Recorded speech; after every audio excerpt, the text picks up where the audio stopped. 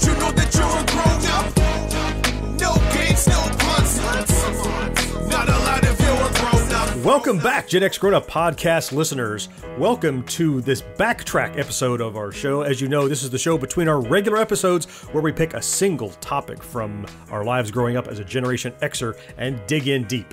Joining me, as always, I have Mo. Hey, everybody. And George is here. Yes, sir. How you doing? I am doing well. I'm looking forward to talking about and reminiscing about something our fourth listener suggested. Yeah. Cool. I have a uh, portion of an email here from our fourth listener, Tom C. Uh, and he writes I think you guys have referenced this once before, but I too remember standing for what seemed like hours with my finger on the play and record button of the portable cassette deck so I could record my new favorite song off the radio. Oh, yeah. Then, when it finally came on, you had to be totally silent, and inevitably, that's when my little sister interrupted one of her ramblings about nonsensical girl stuff. Damn it, get out! Maybe if I call the radio station and make a request, Mom, where's the phone book? Right. oh, yeah. That brings back a lot of interesting memories. Yep. Oh So, man. Tom, you inspired us for this episode of the Backtrack podcast. And in this episode, we're going to discuss not just recording your favorite, but the whole experience surrounding local radio and how it was different. Let's get started. Hi, I'm Charlie Tuna. Here at K Hits 97, we spend a lot of time carefully choosing the songs we play. That's why you hear only the music you like best. Tom C., we are going to kick it off now to talk about your suggestion, which is the experience of local radio stations. And before we get started, we want to clarify what we're talking about, right? So, in the 80s, right. Yeah. no internet, No internet. no satellite radio, No satellite. no MP3s on No- your iPod. No podcasts. Oh, my God. Oh my God, no Oh my podcast. goodness. So if you wanted to listen to music, you had a couple of choices. You either had to have it on a cassette or an eight track in your car Right. or in your house. Record, yeah, LP. You had to literally put a thing with just five or six songs, or the more common thing is you listen to the radio. Yes. And the radio was a local presence in your community. Absolutely. It was great because you knew the channel number that you had to tune your radio dial to. Their call letters Yeah. generally made Yeah. up their name, like uh, WGLF here in Tallahassee was Gulf 104. You had presets, but you actually knew. Oh, yeah. I don't even know people's phone numbers. I couldn't tell you the phone numbers of any of my best friends because I just auto dial. But I knew I listened to 106.3 and 107.2 and 89. Point, I mean, you knew everything. When I was Yeah. a kid, the radio didn't even have it wasn't a digital, it was analog, so your presets were those physical buttons that you had to jam. I didn't know how to set those things. So you'd tune into that station mm-hmm. and you'd tweak it just a little, turning the dial just Yeah. this way or that. I had one of my old radio tuners had two knobs. It had the, the coarse tuning, And they had another knob that had a Oh, different pulley that right. would turn it really, really just Yeah, yeah. gradually. That's one thing I kind of miss about having that local aspect to it is that everything about it was for your area. Yes. Yeah, it was just you. It was just you. Like, if it happened to be raining outside, they'd be talking about the fact that it's raining. Yeah. They just looked out the freaking window like Yeah. that's raining outside. Right. that's your town. And it was your local DJ. It was a person that you could see them in the grocery store. Oh, you wouldn't know what they looked like because that was the other thing. Their voices always fooled you. They were some of the most Oh, they look grotesque looking total- people most of the time. I'm kidding.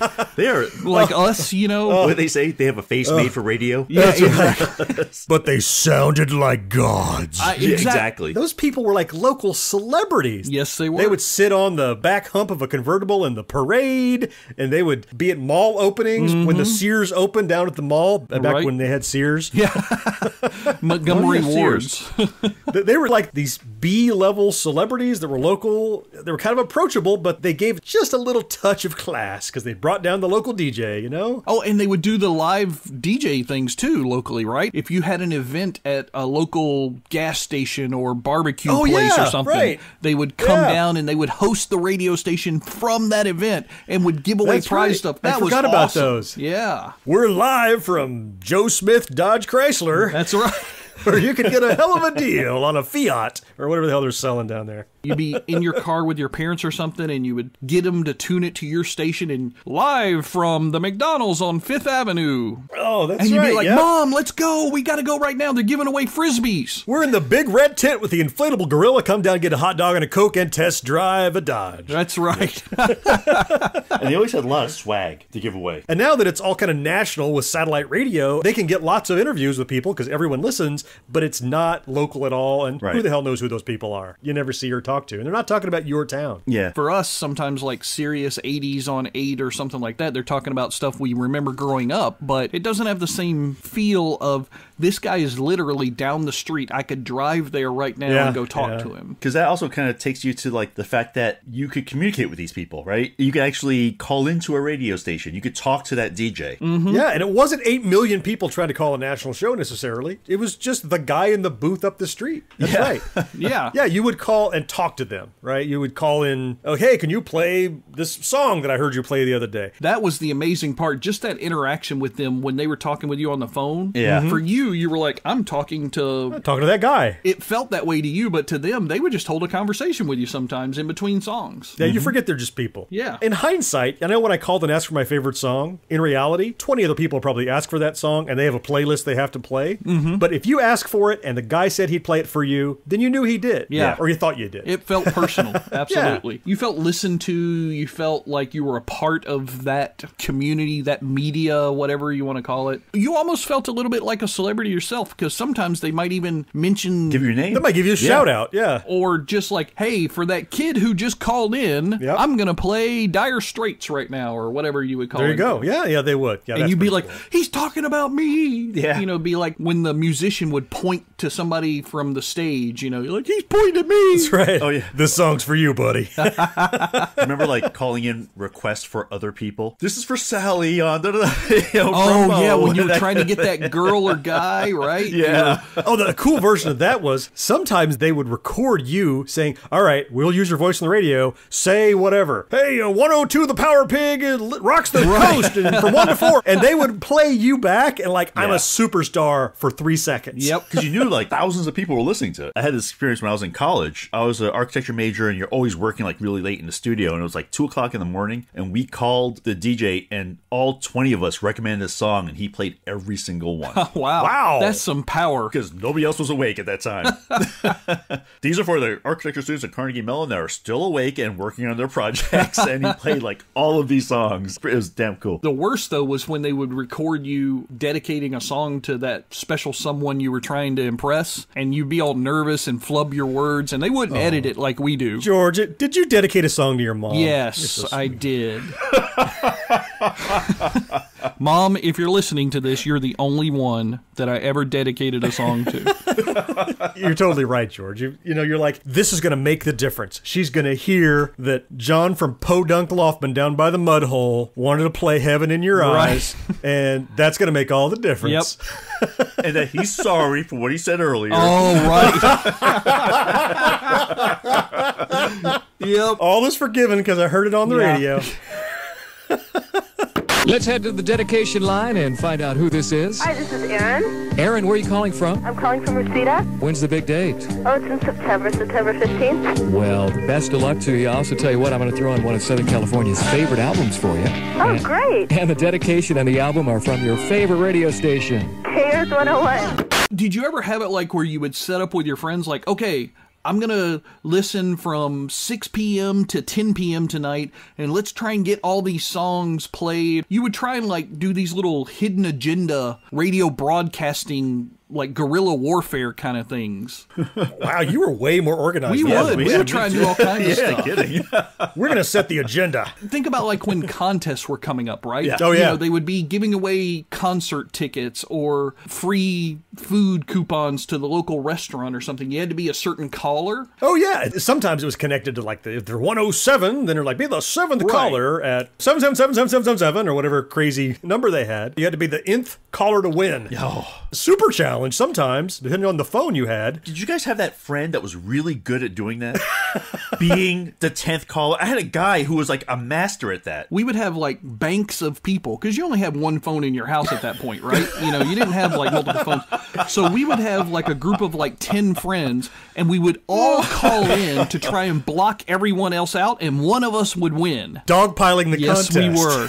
Because those damn rotary phones were hard to deal with, man. Yeah. You had to dial the first six And then you had to wait. Yep. Thanks. You're the third caller. Right. Damn it! I gotta start over. And by then it was too late because if you were the third caller and it had to be the twelfth, forget it. You're not getting You'll that never get back rotary in. phone around in time. That's right. I grew up in New York. They didn't do like third caller. They would do like the 80th caller. This is New York City. You know, Right. a lot of people listening. And so trying to time that was like almost impossible. I don't know why I remember this, but there was a radio station called 99X. Okay. And they played mostly pop stuff. They had this contest where the guy would, they would give out these clues to a location in the city. Mm-hmm. And if you went to that location at a certain time and found their person there, you would win like a thousand dollars. Wow. No, I can't say they did that, but that's cool. Now here's the thing though. You had to walk up to people and ask them, Hey, are you the Are 99X you guy? that person? So you had to go down there and pester a bunch of people. And let me tell you, some of the clues that they were tough. You could just walk up and clock people and start searching their purses and stuff, couldn't you? yeah, I guess you could. But one time, my brother figured it out. Him and my other brother went there, and they brought our dog. And he said people were asking, like, uh, "Is that the 99X dog?" Is that the you were like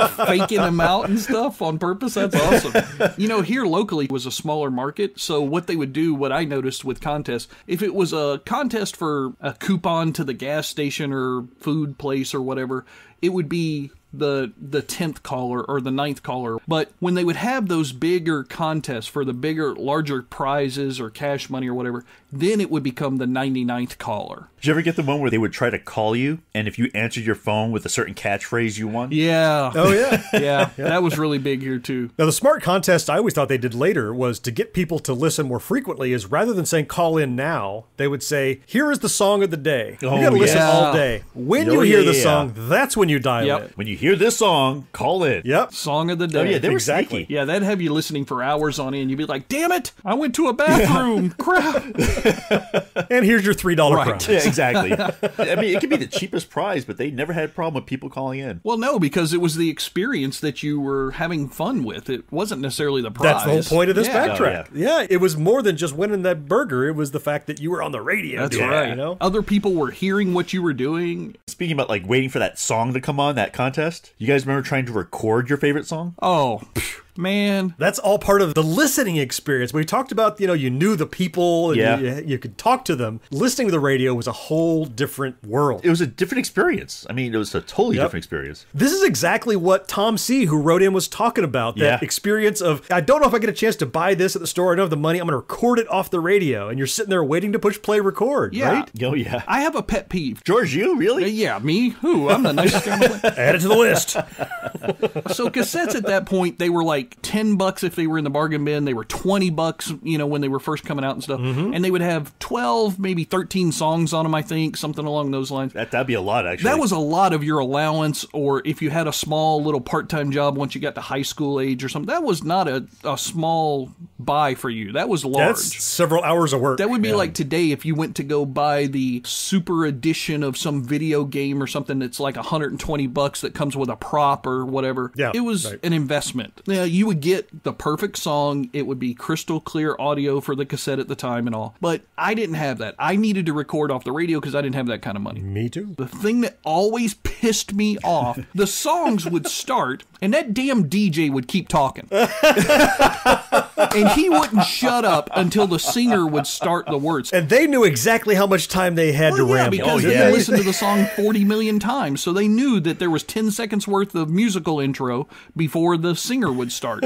And it was like, well, that's not important, only the singer. No, shut up. I want to get the entire Oh, song man. Because I love the music as well as the singer. If you're doing Boston's foreplay long time, they could talk for three minutes over that shit before they actually start singing. Or they would cut off the end of a great song. And don't forget to come down to your local Chevy dealership and like Hotel California. That's got a, like Oh, a I two minute guitar riff at the end of that. Yep. And I swear to God, I tried to record that song about 15 different times. And that stupid DJ would either cut the song off to go to the next one or would start talking about the local car dealership. And I want to slap the crap out of him sometimes for that. I would call the station. Look, the next time you play Hotel California, I'm going to record it. So shut the hell up. That's my rant for today. They know the only time they wouldn't cut off your song in the front of the end is when they would run one of their dump songs. You know about these? Like uh, American Pie by uh, Don McLean? Right. Uh-huh. That song's like eight and a half minutes long. Oh, yeah. And if the DJ needed to go take a dump.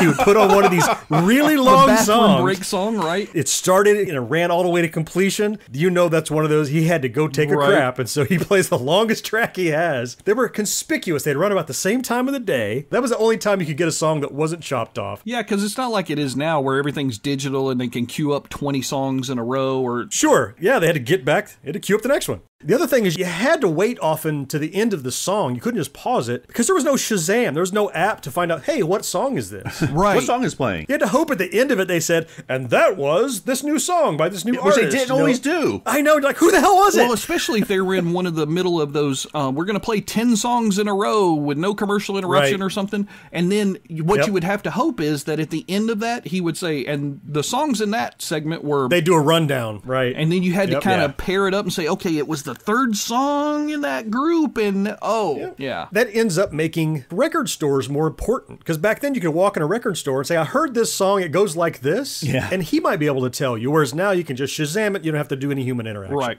Yeah. Let me tell you, but that's how you learned about new music. Of course. Either a friend had the album, right? Mm-hmm. Or you heard it on the radio. Right. I mean, that was really the only two ways you had. Yeah, to 90% of the music. time it was hearing it on the radio 1st mm-hmm. Yeah, because my buddies they couldn't afford to buy records either, so we all heard it on the radio. Exactly. Now, as we get set to hear the number one song in the land, let's check out the number ones on Billboard's other charts. Number one on the country chart is Mama, He's Crazy by the Judds. And on the four other major Billboard charts, we have the same artist holding down all the top spots.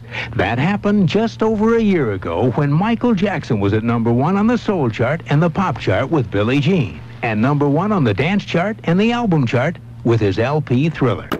You guys ever do any late night listening? I always like that better because generally the DJs had more time, it was less commercial. That's when they would play like deep tracks or Oh, not just the payola. yeah. Once I got a little bit older, you'd stay up later and listen two in the morning. Mm-hmm. You know, and tangentially related to that, I did some late night listening, Mo, but for me it was more of I love like old radio shows from the 40s and 50s and old AM radio. AM. They were news during the day, but in the evening there was this great series called the CBS Radio Mystery Theater. It was really the end. It was the bookend on the end of any kind of radio fiction. But I remember growing up that they would run that every night on my local AM station if you had to stay up like 10 o'clock at night to hear it. But it was the only place you could get that other than buying old tapes of, you know, The Shadow or Fibber McGee and Molly. Well, that's what I was going to ask because I remember when you and I met when you were in college, John. You had a huge collection of like shadow tapes and stuff that you had recorded Mm-hmm. Yeah. from somewhere. Was that where you got them from? Those late night AM radio shows, or You're kind of right, George. The Shadow and those shows that you're talking about, I never heard on radio originally. They were long gone before I was Right. born. Yeah. But my introduction to loving that kind of like audio only fiction, and now these days translated to what is podcast fiction, you know, great shows. I first found a love for that by listening to that old AM radio. And you didn't know what it was going to be. It could be a monster story, it could be a murder mystery, it could be anything. You just, you were there. 10 o'clock at night, I was supposed to be asleep, got the AM radio on, and I'm listening to some spooky story on late night radio. That was the only place to get it. And then later I found out, oh, this was inspired by, you know, the 40s and 50s old talk radio. And that's, uh, that was when I first was introduced to it. we've talked a lot about the local radio, Mm-hmm. and that was always a blast. But your local radio, they didn't just run just local stuff all the time. They would also run these syndicated things that they would Oh, yeah. get from you know the bigger markets and stuff, and you would have your national broadcast that would happen on a The top 40 countdown with Casey, Casey Kasem. Kasem. right. Yeah. Who didn't listen to that? and he writes, Dear Casey. Well, you were talking about the late night thing. I remember the first late night thing I heard was Dr. Demento. Oh, sure, all the parody songs. That's where Weird Al got his start. Exactly. Oh wow. There were some somewhat famous national radio DJs like Wolfman Jack. Sure. You know, he was a big guy in the 70s, I guess, right? 50s actually. Does he go back that far? like 50s, 60s. I think he went back to the 60s at oh, least. Really? Well, Wow. Mo, you're older than us, so you would know. Well, I Yeah, can't that's right. listened to him then, but I know he's he's been around for a really long time. Mo was listening to radio during World War II when the Japanese were sending broadcasts. Yeah, Yeah. He's, he's not that old. He's still a Gen X.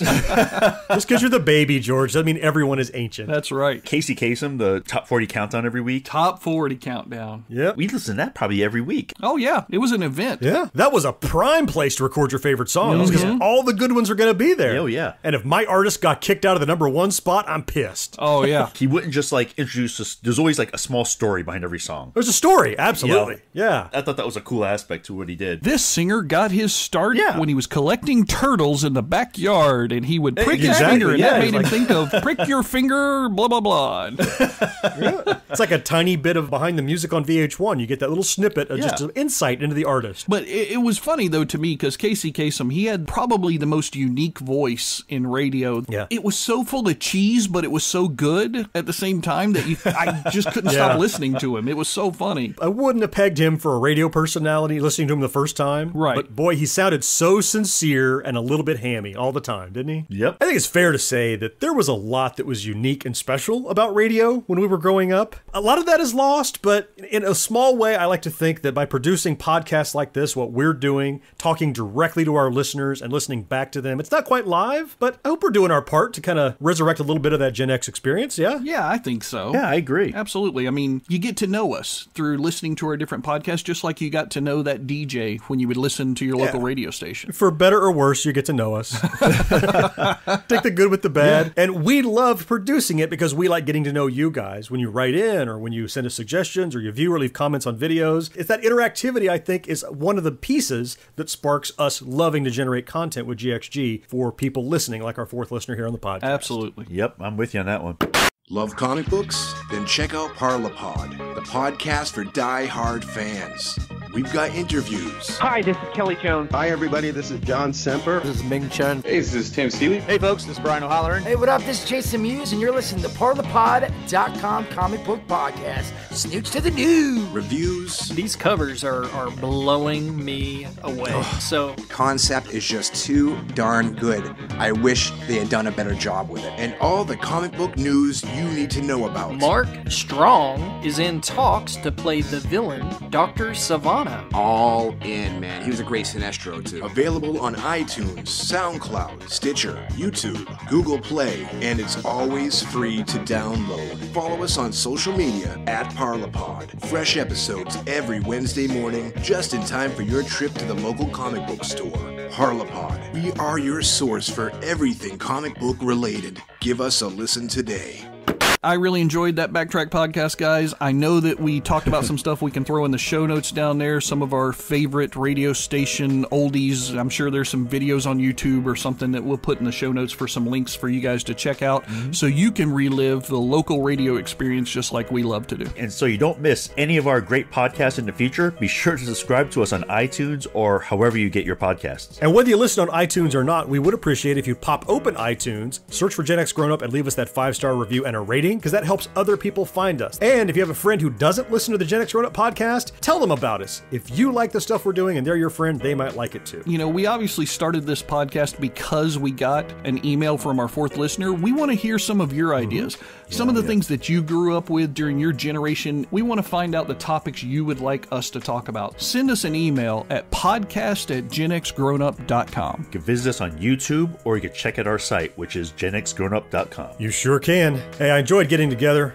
Mo, thanks so much. Oh, yeah, this is fun. George, always a pleasure. Yes, sir. We will have a new show next week, so we'll see you back then. See you guys. See you, everybody. Bye bye.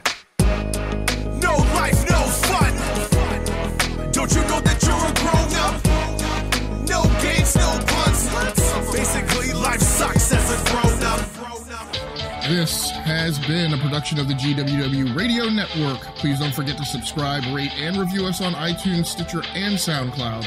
Also, check out Geeks Worldwide at thegww.com for all the latest news, reviews, and opinions on video games, comics, movies, TV, cosplay, and more. Geeks Assemble!